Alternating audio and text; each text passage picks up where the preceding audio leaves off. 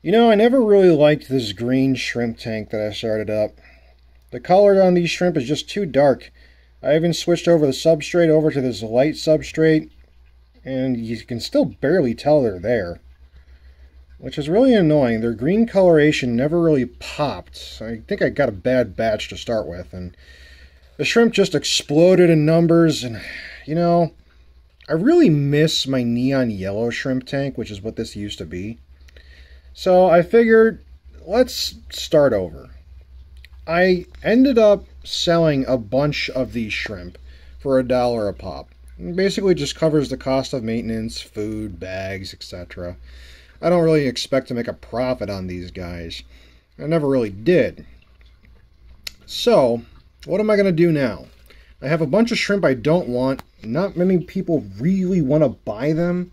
I mean, I guess if people are starting out, a dollar per shrimp is a pretty good steal of a deal, but eh, I'm just not really feeling it. So I decided to do a thing. I got myself a pufferfish. Hi, buddy.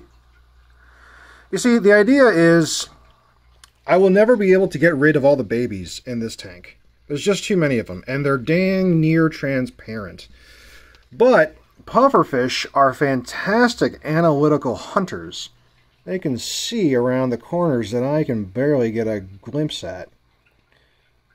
And this little dude has already eaten a shrimp, which is the point of this tank. At this point, anyway.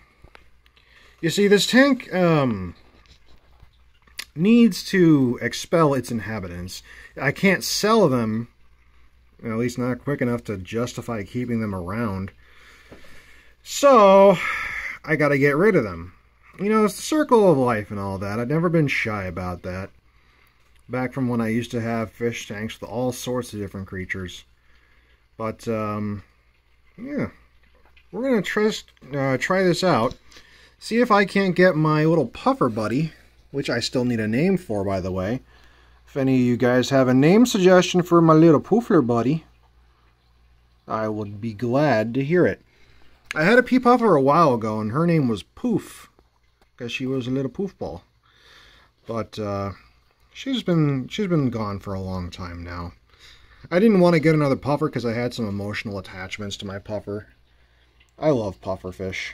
It was a good story I should tell you guys sometime about pufferfish. But in the meantime, this is what's going on. She's going to attack the babies, or a he? I actually don't know. I think it's a he this time he's going to attack the babies so that way they can't reproduce. Or at least if they do reproduce, they, their numbers won't get crazy. I'm not going to just do some sort of like chemical treatment to kill the shrimp. That just seems wasteful. And I kind of wanted a puffer anyway. I don't know if I will keep the puffer long term. I probably will keep the puffer for a while. Um, but really, he's just a utility fish at the moment kind of serving a purpose. It'll be quite some time before all these shrimp are taken care of. I can get the big ones, but those tiny ones, I tell you what. If I can...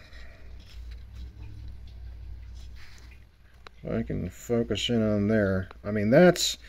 That's that's not even as small as they get. They get way smaller than that. I'm never going to be able to scoop them out. And the re and the thing is, I can't have these guys chilling around when I put neon yellows in here because if that happens, they'll breed with each other. And then I'll get some nasty colored shrimp. Oop, here's here's a good one. There, see that little dude right there in the center?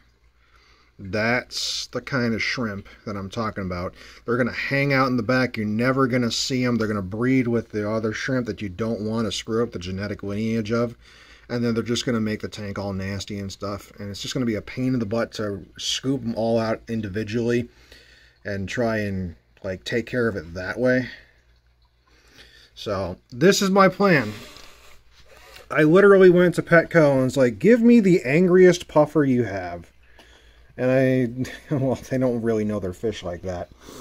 So I just analyzed their tank saw this one was the liveliest and thought you know what yeah, you'll do. Hi, buddy. Can I get a good photo or video of you?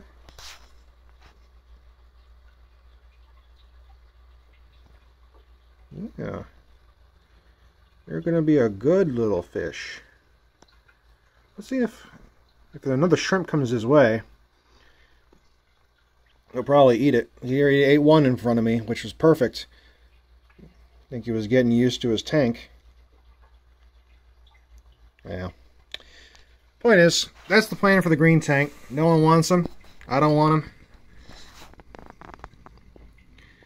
And this is the plan. Cruel, perhaps, if you're a shrimp. But anyone who's got any sort of hunting fish will probably know the deal. So,